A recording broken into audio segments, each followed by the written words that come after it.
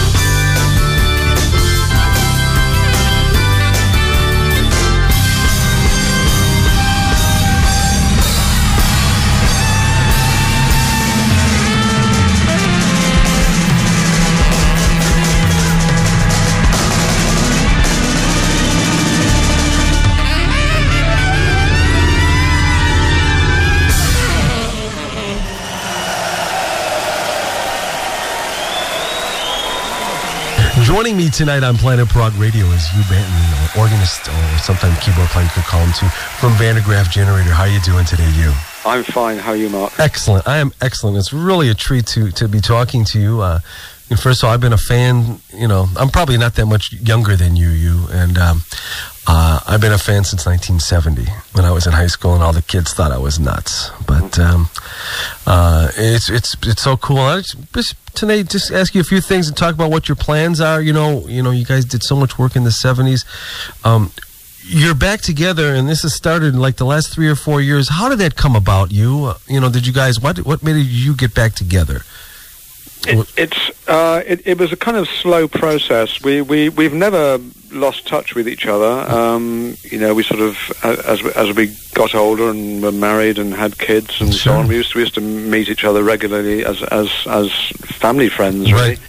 And um, Peter was doing his thing, obviously, and um, occasionally we'd play on his on his um, on his material, on his CDs, or uh, vinyl it was when it started, but CDs eventually. Mm-hmm. Um, uh, and um, uh, me, not so much, I guess. I probably played least, but then he plays keyboard, so he, he probably didn't need, need me, but that's another issue.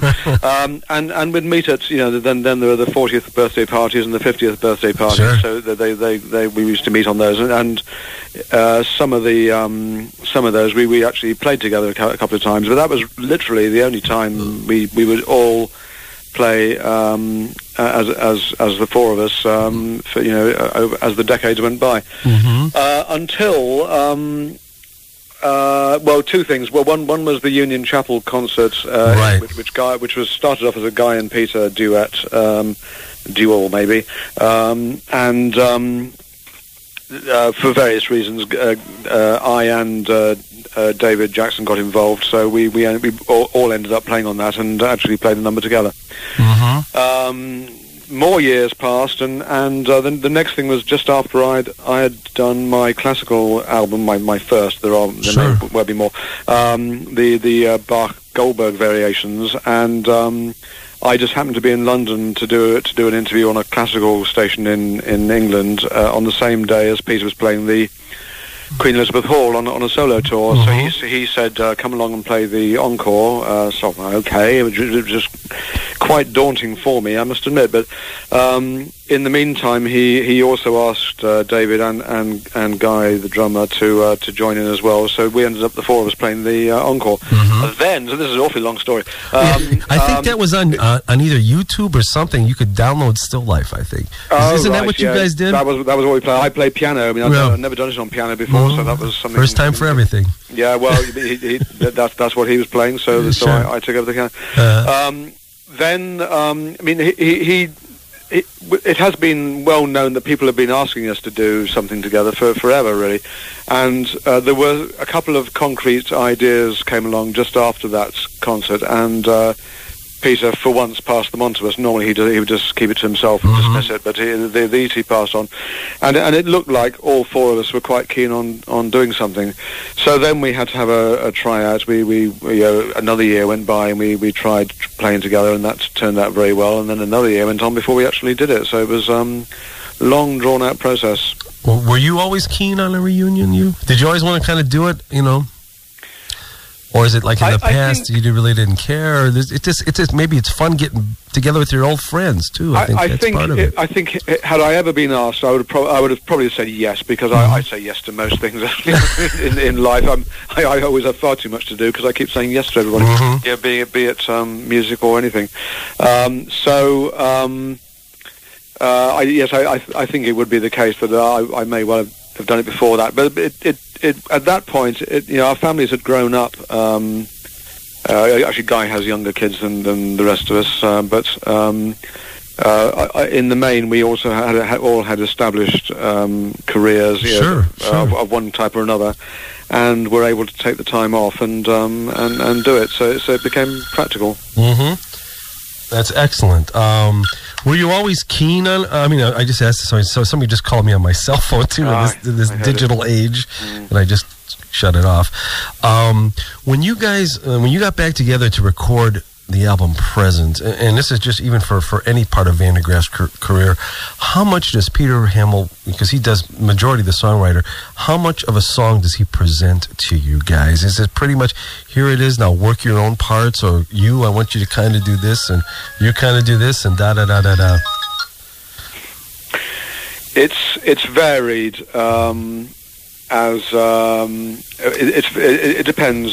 Some some numbers are more or less complete. Uh, mm-hmm. Um, uh, I mean, in the main, we're, we're going back 30, 20, 30 years. Um, right. But I, I, suppose things haven't changed that much. Sometimes he comes up with a complete thing which he has more or less worked out, and, and we just arrange it. Um, uh, other times it's very fragmented, and then and then there are others which is somewhere in between mm-hmm. where he's, he's got some ideas, and we go, well, perhaps we could do this bit here. And I think the long ones, the the um, the ones the ones that sort of you know uh, go on for 10, 15, 20 minutes, um, they they tend to be the ones where there's been lots of other bits and pieces being thrown in. Mm-hmm. So it, it, it's it's it's not. There's no rule actually. It, it it's uh, it's it varies from number to number. Do you find yourself now? I, I've played in bands myself, nothing to your level, but but I found as I got older, I play less.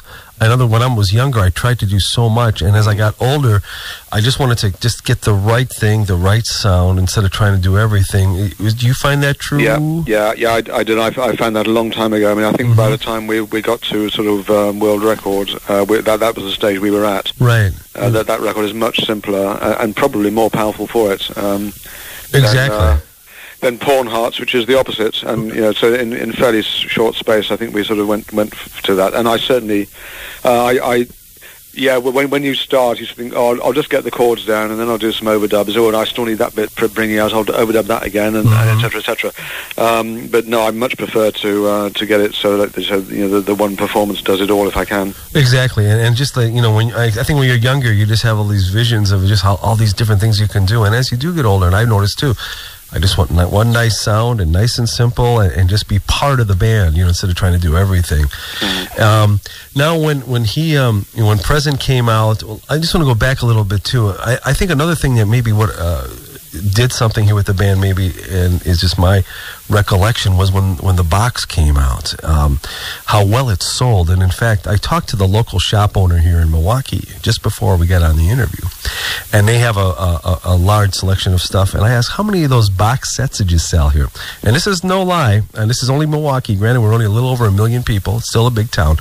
We sold over 50 boxes in Milwaukee, mm. which I think is pretty good. yeah, it's an expensive item. Yeah, it is. But did did that you guys sold so many of those. That was that a little thing too? wow, there's a lot of people interested. Oh, that's true. Yeah, mm-hmm. yes. I mean, I suppose yeah, that that was uh, that that was another thing because um, yeah, and the side effect of that was was was the was the website Phil Smart's uh, website right. mm-hmm. uh, because. Um, during during the making of the box, we, we exchanged a lot of material, and and, and uh, it, it became obvious that we could actually re- reconstruct most of the uh, the gig list. Mm-hmm. Yeah, that's that, nuts. That we played, and and you know Phil Phil Smart has actually uh, now got you know probably the most comprehensive gig list of any band uh, ever. I think uh, on, on, on what he's what he's got there. It's amazing. Um, uh, you, you, if you look at most bands' websites of that era, there's just nothing like that. Right, so, right. You can actually see. So yeah, that that that happened, and, um, and and certainly sort of going back over the story again at that point, it was it was yeah, it it, it did uh, it did move us a bit. I'm sure. Yeah. Well, you know, that's how I met. You know, even though me and Jim, Jim Christopulos is is how we set up this interview here too, because yeah. he lives in Chicago. He's an hour and a half away from me. Um, when we saw Peter Hammill together when Peter played one time in Milwaukee in 1990, and uh, uh, I don't remember meeting him. I was with so many friends, and he was just some new guy I just met that night. But then when I contact Phil, I says, "Hey, why don't you come on my show, do something about the book?" He sent it over to Jim, who drove up here. I, I freaked out how close Jim was from me. I didn't realize he only lived in Chicago, but how the internet and all these things have just changed with the communication process. It's just amazing. The world is so damn small now. Yes, this is true. It really is. Um, now, you guys are working on a new album or uh, starting soon. soon? Uh, yes, uh, yeah, July. We're going to we're going to record something. Uh, mm-hmm. I'm not exactly sure what. well, there will be the, the, the new ones we introduced in, in the uh, in the April tour. Um, and hopefully in, in the next how long we got four weeks um, we'll uh, we'll we'll come up with some more. So I'm actually seeing Peter Hammill on uh, uh, this weekend. Okay. Um, but um, we'll um, uh, I, I think between now and July we'll we'll be trying to nail down what we're going to do. But it, it, it may we, we may just get rough sketches done then and then uh, and then um, you know get it completed later in the year. But uh, yeah, that we're, we're certainly going to actually play for for uh, for two weeks Mhm. or more during July. Sure. Any guests on on the album, or will it just be you three guys? Just us three, no no three. talk of guests. Um, Okay. I suppose it's not inconceivable, but we, we certainly haven't we haven't discussed it. Right, and um, another thing here, um, some of these questions I got from people online. When David Jackson left, was there any talk of a new member or a replacement, or will you guys say it's just three of us now? Just three of it. No, we never we never discussed that. It was either stop altogether, or or then we thought, shall we try it as three? And and, and those, those were only the, the only options ever. Did anybody offer their services to you? no, they didn't. I'm just asking. yes, I never, never thought of that. No, Uh huh. Hey. well, uh, well, only in jest, but yeah. Any, um, how was it when, when you went back to do the reunion tours in 05? How was the uh, how was it for you to revisit all the old songs? And um, did you kind of like, how did I do this? You know, t- 30 years ago, or yeah. Mm-hmm. How Yeah, was it- it- you? It, it was difficult. I, I, I, I spent a long time, uh, yeah, because it, it- the the festival hall um, uh, concert was in in May. Oh, the, Mhm. the, the festival hall just reopened this week. Oh. It's been it's been closed for two years. They've been refurbishing it. It looks amazing. Anyway, Will they have a big Um, riot after a Van der Graaf show? yeah, it was just, just just just well, no, no, no, no. It was it People was planned. tripped over the walkers or something. Or? We, uh, we, we we were we were scheduled as one of the last shows before it shut down. Now that was one of, part of the pressure. Actually, I remember at the time they said, "Can, can you can you get do this before we have to shut the festival hall?" Because mm-hmm. um, and they've just because it, it's quite an iconic building in England. Um, Sure, sure. Anyway. Um, so I've forgotten the question now. Oh yes, uh, what was it like? Um, so I, I'd actually started uh, um, November, December, sort of working it up and so just sort of sorting out uh, how I could get an organ um, uh, similar. Although, although in truth, I had been.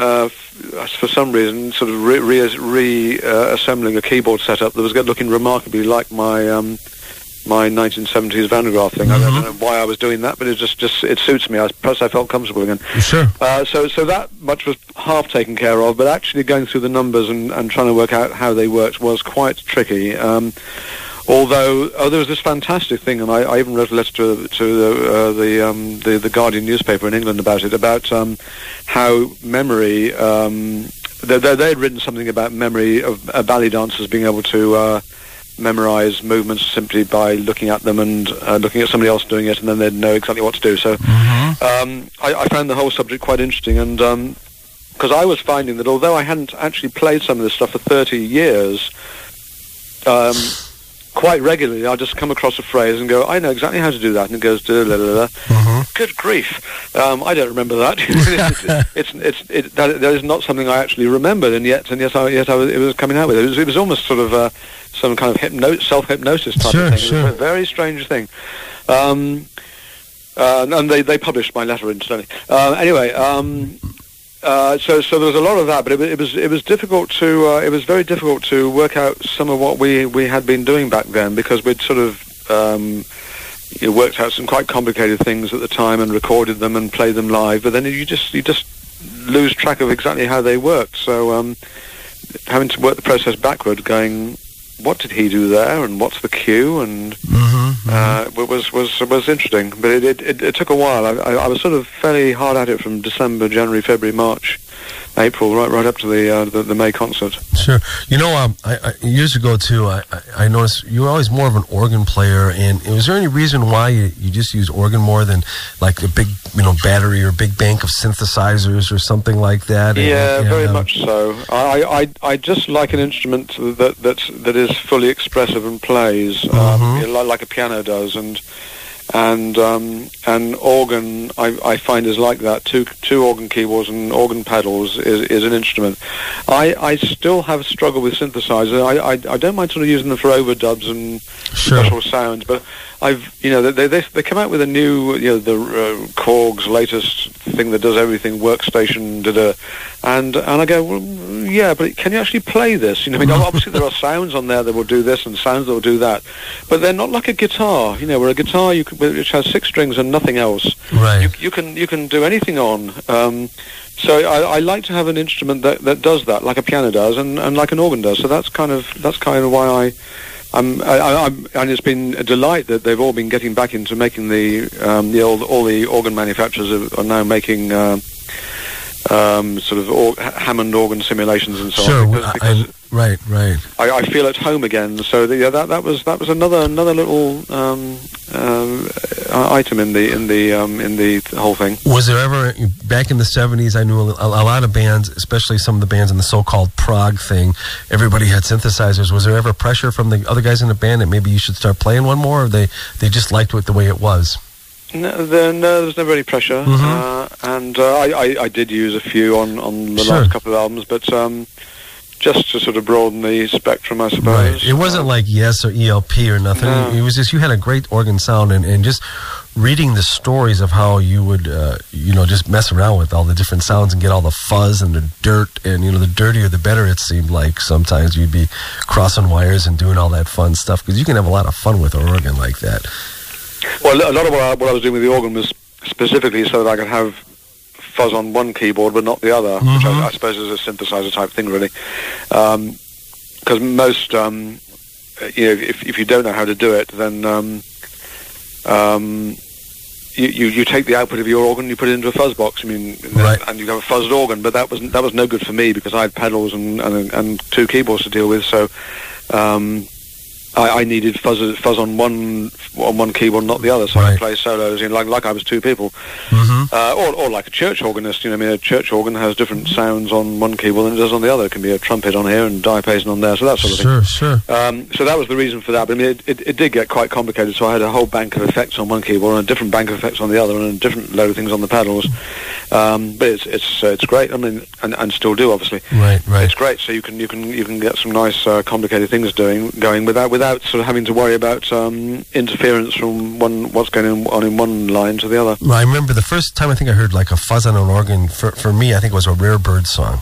Oh yeah, you guys probably played gigs with them, didn't you? we did indeed. Yeah. I remember. I had David Kaffinetti on the air a few years ago. Ah, from yeah. uh, he's living in California. I don't know what he's doing now. He's playing with some blues band. Last I heard. Um, any chance for the band ever to come over here to the New World? Well, I, I I'm sure there is. Um, Has it um, been discussed, uh, or is it too hard because this country's so damn big? Or Um, possibly. I mean, I mean, no, we're we're way off setting anything up. I mean, Right. we, we we haven't got anything set up at the moment. We we, we did the July tour. Sorry, we did the April tour, and we have two gigs to do in July, Mhm. two two two uh, festivals, and um, and we're going to do this album, and that is literally all we have planned at the moment. I mean, we all I, th- we all want to do some more, and I, I guess when we meet up in July, we'll be going. Well, what should we do next? mm-hmm. Um, but we are, you know, we are all still in our, still running our other careers. Peter's still a still a solo performer. He hasn't given that up. Sure. I am uh, doing organs uh, left, right, and centre. You know, I've done that all day today. uh, my, my church organs Mm-hmm. and guys, uh, you know, teaching music technology. So we we all have these other things to do, and and um, we have to say, okay, we'd like to do some more. We'll do it in such and such a month, and then then we give instructions to the to the management, and they start working on it, and that's kind of how it's working. So I. Um, I suppose we would have to say yes. Uh, we would be interested in, in America, which in, uh, we, indeed we are. Uh, Sure, down the uh, road. You know what? You what is there a song you want to hear? Because we haven't even played a song, and we've been talking, Oh. and we got. I do. You know, in a little while, we're gonna have to call. You know, uh, we're gonna cut it down here. But is, you want to pick something out? You pick out anything. I might even have Seventh Wave at home, but um, but it's something from Van der Graaf Generator. Is there anything you want to hear? That's something from the new live album that you mixed, or a present, or an old track. Or you want me to pick something? you, you pick something. You pick something. Is, is there like is there an album that you you know Mark you talked about world record we can play you know uh, I think a place to serve Oh, I know. I know. Well, actually, uh, well, one that, that hardly ever gets played is is uh, is my room. oh okay great great track that's from uh, Still Life right Oh, is it? I world don't- record. I don't honestly truly I don't remember Well, it's one we, we never ever played. It's, it's such a such an amazing song. Yeah you know what let's just do it up right now and then we'll be back uh, just real quick okay? Okay. we're gonna play a track from Van der Graaf Generator Hugh Banton from the band is with us here on Planet Prog Radio this is a track called My Room recorded way back about 30 years ago and we'll be back with you right after we play this track here on 91.7 WMSE Milwaukee.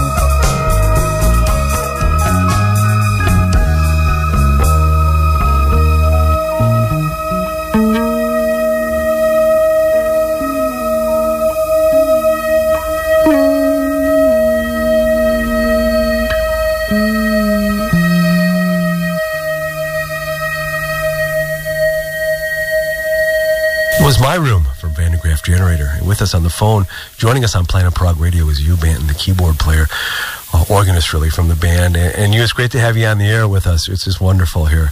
Thank you Thanks. so much. Thank you. Uh, you know, you have a lot of fans here in the States. You know, I never got to see you, um, and I'm not the only one. And, uh, uh, you know, for all those years, like back in the 70s, um, was I would read little bits and pieces, especially with Phil Smart's site um, about these little uh, that what's it named Gordian Troller or something like that. Was that his name? The manager yes. about there's a possible and a, you know U.S. tour for Van der Graaf, and I read it in Melody Maker because we used to pick those up in the early 70s. And and how close were you? I know you did come here once in 76, played one gig in New York City. How close was the band ever close to coming here in, in those years? It just never happened, or Yeah, I, I think so. Mhm. Um, the, the, there used to be reports in the press that we were going to do it soon, and, and it, it sort of never came together. Right, um, right. The, the the the New York one in uh, in um, '76 right? uh, was on was on the end of a of a Canadian tour. I, we were going to do Canada and, and uh, the US. Um, and uh, in, in, in Spinal Tap Spinal Tap fashion, they all got cancelled. Isn't isn't that a great movie? you know, I could I could watch that movie all the time. Spinal Tap. Yeah. It's just But I, I, think I think I think most of their American tour went wrong and, and disappeared. So did ours. So Mhm. there's a there's a lot of truth in it. right, right. I can't remember the reasons or anything, but we were certainly going to do some more, and then then it just became New York in the end. And and um, uh, a few weeks later, I left the band anyway. So Yeah, right. I remember that was in uh, in '76 when you left the band. And uh, yeah, you know, as we get older, there's other responsibilities that come along in life too. So uh, it's just as things happen. You know, uh, with the new album, uh, which you guys are working on in July, is there a title yet? Oh no, Okay. no, no, no, no. Uh, there's some very silly titles floating around, but Oh, I, of I- we, we may or not may not use one of those. No, I think we have to. Uh, we, we've got a quite a long way to go with that yet. And uh, I know uh, in the tour uh, that you guys just completed, I think you played two new songs. Is that right? E, two, yes, two two totally new ones, um, and we revived three, which we hadn't done in 2005. Mm-hmm. So we, we had we had sort of five new five new things to play. Okay, well, that's pretty good. So, is that going to be part, pretty much the new album? Those five tracks, or Oh no, as, as I say, three three of them were from the old days. Okay. Uh, but but the, the, the, I'm sure that the, the the two new ones will be. Uh, they, they they will definitely be on the new thing, and and uh, lots more besides. so uh, with with David Jackson gone, how how hard was it to for you to fill in the parts? Not that bad. I, I heard a couple live things. It sounded fine to me. I think uh, were you a lot busier? Um, yeah, we, it, it was it, it was actually pretty easy. Mhm. Um, uh, it, um, it's rather hard to do. I I, I always I, I never doubted I could do it or we Right. could do it. Um, um, I mean, saxophone is, is a solo instrument, so uh, if, if, if he if he stops dead, the song doesn't stop. It's not Right. like if, if the drummer stops, you know. Um, The drummer's never supposed to stop. Oh no, drummers don't stop. You, know, you, can't, you can't shut them up. No. um, uh, so, so I, I knew we could we could do the numbers. So we were, um, in, in the in the most, it was just a case of finding rearrangements to do. And in any case, we, we quite fancied changing a few things Sure. around, you know, because because we've been doing them the same. And and and, and you know, I, I think Peter sort of said on his website recently, and, and hit the nail on the head that where in 2005 was was was a reunification, if you like, Mhm. and and, uh, and and we did that. Um, but we never ever intended to just stop there and just keep. Um, we we were never going to be a tribute band, you know, to to to Van der Graaf Generator of 30 years ago. Right. If we were going to do it, we were going to do it for now. Um, and yeah, we might play some of the old numbers, but we weren't necessarily going to play them the same. And, and in any Mhm. case, as time went on, we were going to move on to other stuff, and, and that's that's what we're doing. Mhm. So. Um, uh, we, we, we all, we, actually, the, the three of us found that the three piece actually very liberating. Um, yeah, it, it was unexpected the way it turned out. I Sure. think in, in a way, we, we all found that we could do things that um, um, that were, uh, were you, you, you could have much better clarity uh, on with just three because with only two. Um, mu- uh, musical instruments, you know, with, Mhm. who play notes as opposed to drums Right. um, uh, there, there's there's much less chance of of uh, crashing into each other than there is when there's three of you. You know, when when three quarters of the band are doing Sure, it. So sure. so it it, it was um, we yeah, Peter and I uh, well all three of us, but Peter and I both enjoyed the uh, the sort of um, musical the, the the note freedom we had. hmm Um, well, you know, Leo, I'm going to have to uh, wrap it up right now here. But geez, it was so good to talk to you. It- for me, uh, like I said, I've been a fan forever, so uh, was just a lot of fun. And you gave an insight into what's really much going on with Van der Graaf. I think if you want to know what happened to him, you can go on the website and and uh, or else pick up a copy of the book, which I gave to some people for Christmas presents. it's damn expensive to send one to the states, though. It's Ah. almost the cost of the book itself, so double it. Nothing to do with me. No, I know that. I know that. I I know that at all. I think you guys were you happy with that book? Did you like? Was it to me that I think it was amazing. Yeah, we, we, we, we spent a lot of we, we, we did a lot of talking with Phil and Jim uh, about it, and, and so I guess I kind of wanted it, it was it was fantastic to do to to, to be involved with uh, from at least from uh, the um, the uh, talking point of view, just, Sure. just to sort of go back over the stuff and stuff was sort of coming back into your mind, like I was saying about Sure, playing that that I, I, I didn't think I remembered, and sure enough, there there it was. it's excellent. You can. Pretty much, you can check out all that stuff if you just go to vandergraafgenerator.com. Uh, I think it's .uk too. After Dot that. co. Dot uk. Yeah. And uh, it's just an amazing website. You know, Peter Hammill, sofasound.com. You can check out what he's up to too. And you have a website, you too, for your organ building. So, I do. and what is it? That's uh, uh, organworkshop.co.uk. That's co.uk. Excellent, excellent. Well, listen, you you want to pick another track here? You want me to finish up here with a, su- a song? You, or- you choose. You choose. Okay, we're going to play something from from from uh, Present, and uh, I think the track I'm going to uh, select is um, uh, "Every Bloody Emperor," which is just a great track, and we're going to finish up with that. Hugh, Banton, thanks a lot for joining us on Planet Prog Radio. It's a real pleasure, and uh, just hold on the phone, and uh, I just want to say a couple of things here. But right now, here's some Van der Graaf Generator for you uh, from their Present album. This is "Every Bloody Emperor" on 91.7 WMSE Milwaukee. Three.